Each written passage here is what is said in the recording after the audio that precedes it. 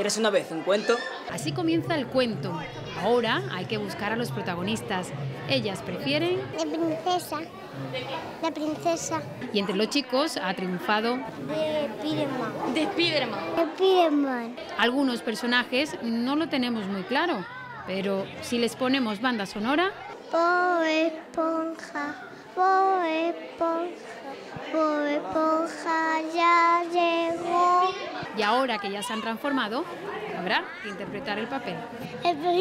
Espejito, ¿quién es la más guapa? Estamos en un divertaller organizado por la compañía de teatro La Paca y el objetivo lo tienen claro. Y entonces nos interesa eso, que no quede solamente la experiencia de venir al teatro, que ya es importantísima, sino el que luego se pueda aplicar como, o bien haciendo teatro con los utensilios que se vean de aquí, además de ser en feria y pasar una tarde muy divertida en familia. El teatro les enseña que con la imaginación todo es posible, hasta convertir una cuchara en una bailarina o un soldado. Hombre, aquí desarrollan más la imaginación.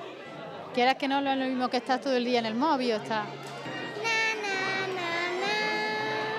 Así han conocido a los protagonistas de la obra que ahora les toca ver.